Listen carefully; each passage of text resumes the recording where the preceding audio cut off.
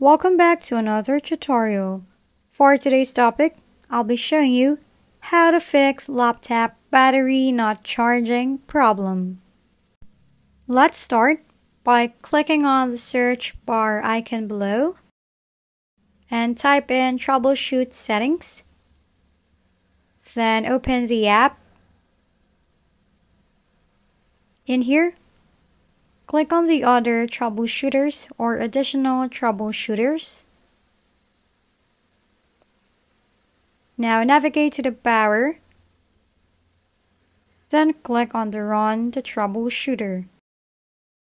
Wait for it to finish detecting issues.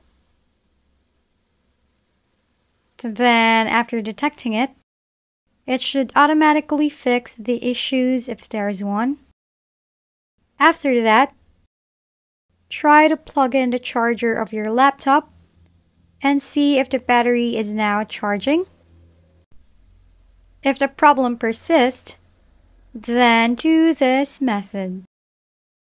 Right click on the Windows icon logo and then click Device Manager. Navigate to Batteries and expand it.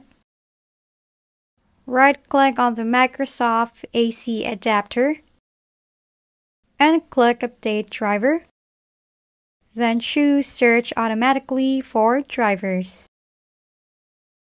After doing all of this, but then the problem is still there, then right click again on the Microsoft AC adapter